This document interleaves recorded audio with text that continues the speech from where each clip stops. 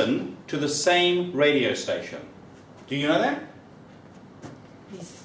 Good. What is it? TV. No? no? Uh, yes. Yes, you, you're on the right track. Okay. It's a radio station which we call WIIFM. What's it? We heard that. What's it for you? What's in it for me? The frequency on that radio station applies something goes like this. It's all about me, me, me, me, me, me, me, me, me, me, me, me. What can you do for me, me, me, me, me, me, me, me, me? Okay. Yeah.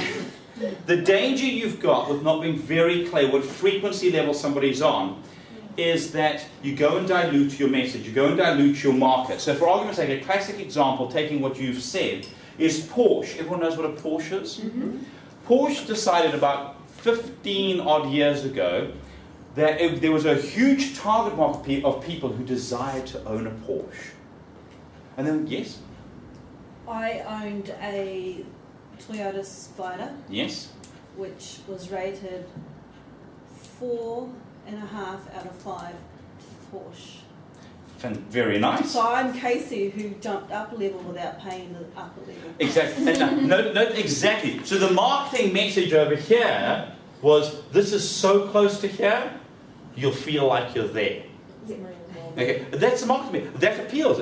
That's what stuck in terms of the marketing message. Now Porsche realized that there was these whole group of people who really aspired to have a Porsche. Okay, so they released what's nowadays called the poor man's Porsche. It wasn't called that back then, but they were like, hey, here's, here's an economical Porsche. And they sold tens of thousands of them.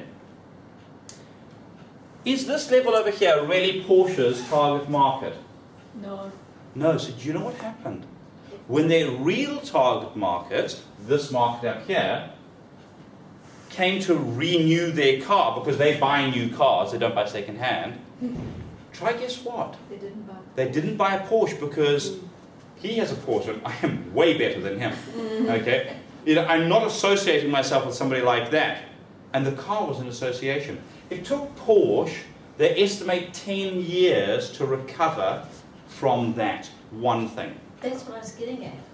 You are a, a, a very successful interior design company, and suddenly you start serving the lower who want to be up there, so you lose your high people. You would do, yes, absolutely. And that's what I'm saying. So that's what I'm saying. You need to be clear on who you're going to serve.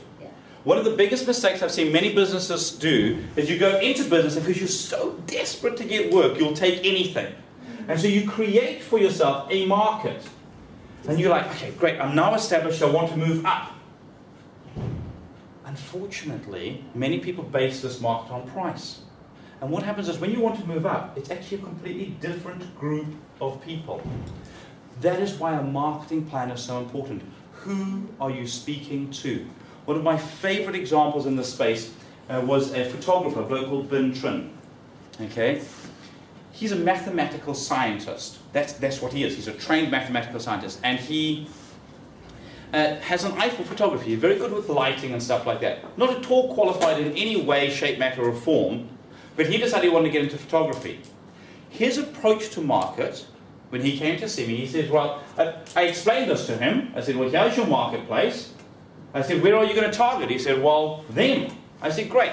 So, how are you going to do this? I'm going to find the most expensive person in town, and I'm going to charge more than him. Mm-hmm.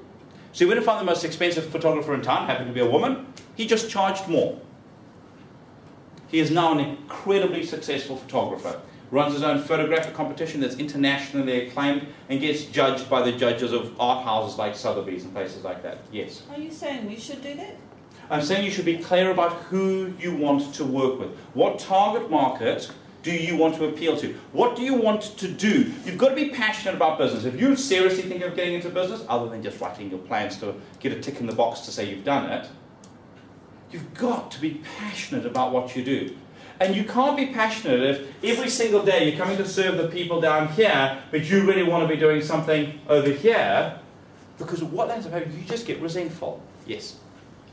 So you, you I, I get what you're saying. You want to, you've got the passion, Yes. yeah, and you you have your middle of the range market people. Fantastic. You get desperate because no one's coming to you because you've only you're only new in the market. Yeah. So you drop down. So that's what most people resort to, is that you drop down. Yeah. And the reason most people have to drop down is because they haven't defined exactly who they want as a client. Because if you're absolutely clear on who you want as a client, you can design a marketing piece, you can design your conversation, you can design your sales strategy to speak to that person. When Kitchen Connections brought this out over here, their adverts were entirely focused on what Casey aspired to. Because they knew her so well. Now, and they saved money because they only put that marketing material in the places where Casey was.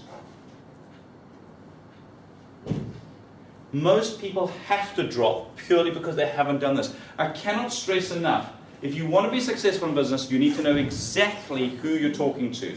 I think, Mike, what you're also saying is that if you elect to work with that bottom part of the market. That's fine, there's nothing wrong with it. I don't think, I just, I'm just saying this because I just think some people are thinking that the only place and the best Oh, place to be is don't. the top. Uh, I mean, you've got companies who know that they are speaking to that bottom so- part and do it exceptionally, exceptionally well. So, with- yes. Anybody it's- it's recognize that marketing person about- over there? It's not about being better or best, it's about knowing who you are speaking And, to. and knowing who you speak. Who, who advertises using a stick man? It's pack and save. Pack and Save, absolutely. Would you like to have their profits every Yeah. Who does Pack and Save speak to? The bottom, The bottom. There's nothing. Please understand. There is. So thank you for clarifying. There is nothing wrong with where you choose to be.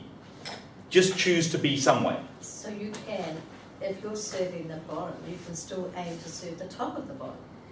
Yes. You, so I don't mean. There's, It's to not- be. It's not about whether you're top, bottom, medium. It's being able to say, I want that over there. Whether that happens to sit there, sit there, sit there is irrelevant. It's just that the people who sit here, in order to catch their attention, you're going to need to do something very different to the people who sit up here.